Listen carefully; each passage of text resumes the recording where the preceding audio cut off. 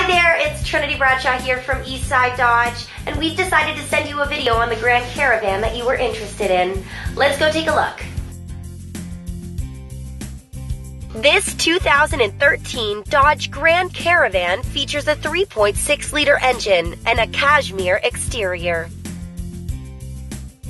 Features include power locks and windows, foldable and heated side mirrors, cruise control, a media center with AM FM radio, CD player, and Sirius satellite radio with an MP3 input jack.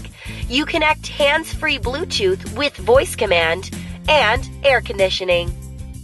And the interior features a light beige cloth seating with foldable second and third row seats that fold completely into the floor, creating more storage space.